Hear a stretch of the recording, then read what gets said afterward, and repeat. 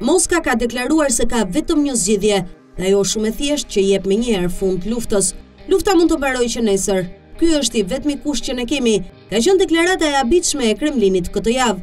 Rusia ka pretenduar se lufta mund të mbarojë nesër nëse presidenti ukrainas Volodymyr Zelenski urdhëron një tërheqje të të gjithë ushtarëve ukrainas nga territoret brenda katër rajoneve të aneksuara së fundmi nga Putin në juglindje të vendit. Në komentet e barasvlefshme me fajësimin e Ukrainës për mbrojtjen e territorit të saj, zëdhënësi i Kremlinit Dimitri Peskov sugjeroi se forcat e armatosura të Ukrainës po parandalonin një armëpushim të mundshëm duke vazhduar të çlironin qytete përtej vijës së frontit.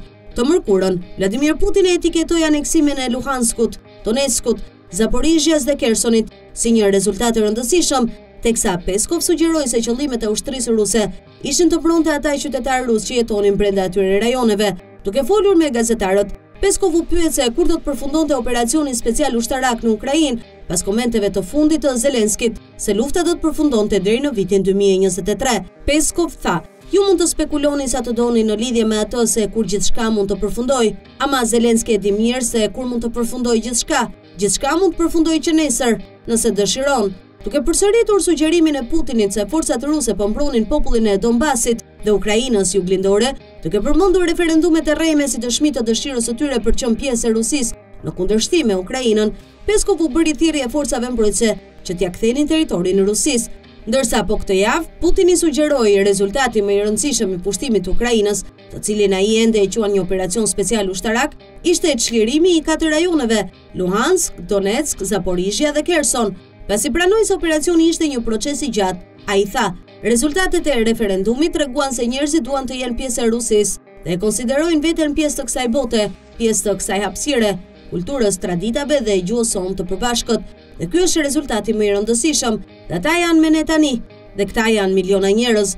Gjithashtu dje, Putin anuloi konferencën e tij të fundvitit me gazetarët, duke konfirmuar se diçka nuk po shkon siç priste Moska. Ngjarja është një element kryesor i kalendarit të presidentit rus, pasi i jep atij mundësinë të tregojë se i ka gjërat nën kontroll, ndërsa ulet i vetëm në një skenë për një seancë pyetje-përgjigje me gazetarët, që mund të zgjasë më shumë se katër orë. Vladimir Putin gjithashtu organizon çdo vit një paraqitje televizive me anëtarët e publikut, të quajtur Linja e drejtpërdrejtë me Vladimir Putin, e cila u mbajt për herë të fundit në qershor të vitit dy mijë e njëzet e një. Konferenca e shtypit e fundvitit të kaluar u zhvillua më njëzet e tre dhjetor, pothuajse saktësisht dy muaj përpara fillimit të pushtimit, pasi Kremlini po mohonte akuzat e Ukrainës dhe të SHBA-së se dhjetëra mijëra trupa ruse që po grumbulloheshin pranë kufirit parashikonin nisjen e pushtimit.